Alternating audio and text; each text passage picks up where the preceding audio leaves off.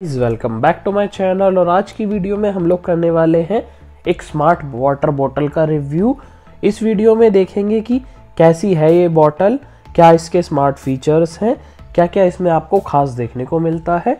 तो वीडियो को एंड तक ज़रूर देखना और चेकआउट करते हैं सबसे पहले इसकी अनबॉक्सिंग तो ये मैंने फ्लिपकार्ट से ऑर्डर करी थी, काफ़ी कूल सी और काफ़ी अच्छे प्राइस पर ये मुझे मिल गई थी। कुछ ऑफ़र ऑफ़र लगा के मुझे ये ढाई सौ रुपये की पड़ी थी।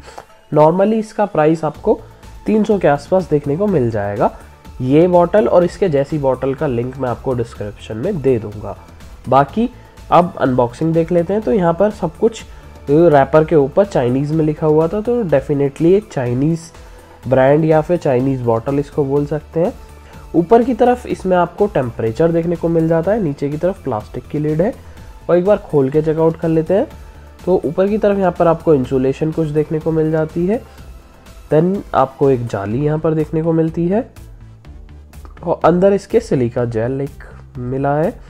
और बाकी अंदर देख सकते हो पूरा स्टील की बॉडी है। बाकी साइड में आप चेकआउट कर सकते हो पॉज करके कि क्या क्या है। बाकी इसकी स्टिकरिंग हटा देते हैं और चेकआउट करते हैं इसका फ़िज़िकल ओवरव्यू तो ये आपको मैट फिनिश में देखने को मिल जाएगी। ऊपर की तरफ़ एक शाइनी सा आपको ग्लास देखने को मिलता है, जिसको कि आप टच करके टेम्परेचर देख सकते हो। नीचे की तरफ़ आपको प्लास्टिक देखने को मिल जाता है, जिस पर कि थोड़ी वार्निंग वगैरह दी गई है कि आपको माइक्रोवेव नहीं करनी है। ये सारी चीज़ें।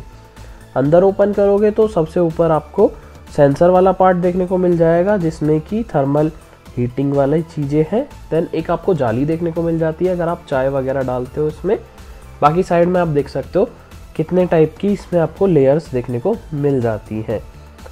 और टेम्परेचर की मैं बात करूँ तो यहाँ पर आपको टैप करके टेम्परेचर ये दिखा देगा। वेट की बात करूँ तो काफ़ी लाइट वेट आपको देखने को मिल जाती है। और 500 सौ इसका साइज़ है। और वैसे भी देख सकते हो थोड़ी छोटी सी कॉम्पैक्ट सी बॉटल है, ज़्यादा भारी सी है आपको देखने को नहीं मिलती है। अब इसका टेस्ट कर लेते हैं कि क्या इसका टेम्परेचर सेंसर सही चल रहा है या नहीं। तो मैंने इसमें डाल दिया है ठंडा पानी। फ्रिज का नॉर्मली अब एक बॉटल में फ्रिज से निकाल के लाया था, इसको डालते हैं और फिर चेकआउट कर लेते हैं कि क्या टेम्परेचर ड्रॉप होता है, क्या नहीं। और फ़िलहाल जब मैं स्टार्ट कर रहा था तो अभी रूम का टेम्परेचर इसमें 25 आ रहा था 25 26 और अभी जाली को बाहर ही रहने देते हैं, इसको बंद कर लेते हैं देन अपना स्टार्ट करते हैं।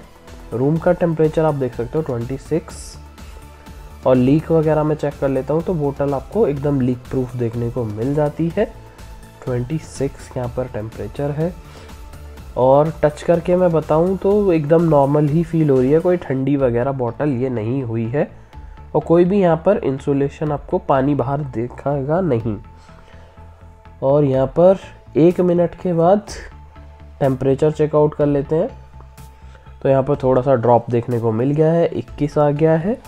और धीरे धीरे धीरे धीरे थोड़ा टाइम लगते लगते सात मिनट के बाद ये 16 पर आकर ऑलमोस्ट स्टेबल सा हो गया था।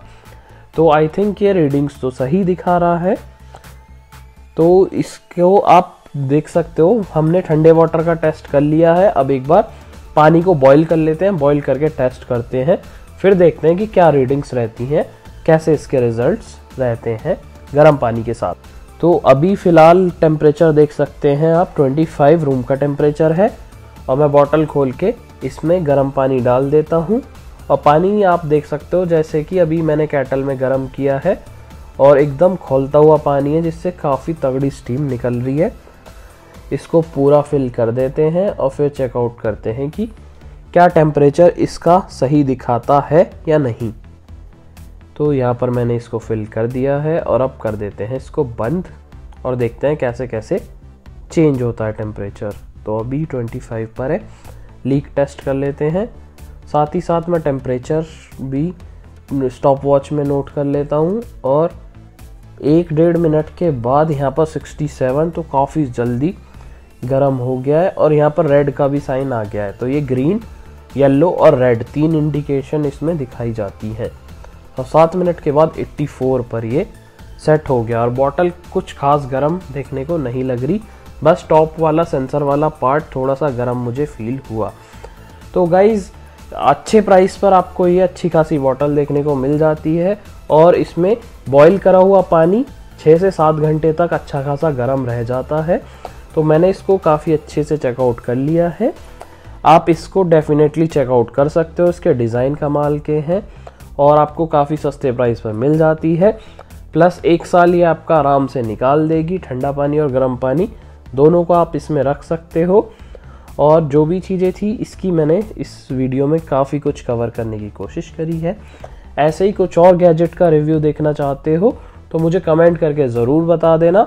मैं अपने चैनल पे कुछ ऐसे ऐसे इंटरेस्टिंग चीज़ों को कवर करने की कोशिश करूँगा। बाकी इससे रिलेटेड कोई क्वेश्चन हो तो कमेंट बॉक्स में पूछ लेना।